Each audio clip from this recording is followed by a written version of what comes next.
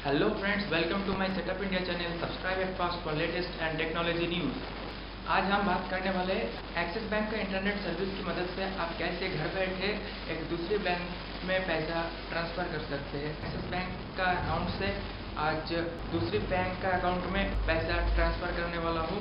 वो भी ऑनलाइन पे इंटरनेट की मदद से।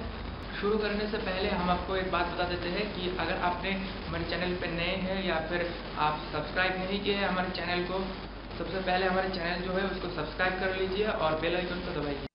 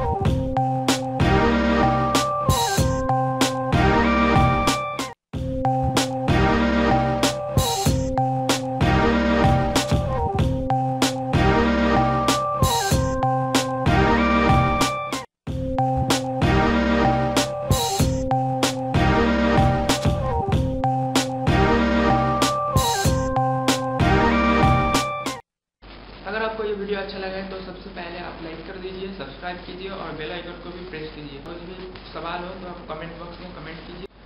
तो फ़िलहाल इस वीडियो में इतना ही, फिर मिलेंगे ऐसे ही एक ज़रूरी वीडियो के साथ। तब तक के लिए गुड बाय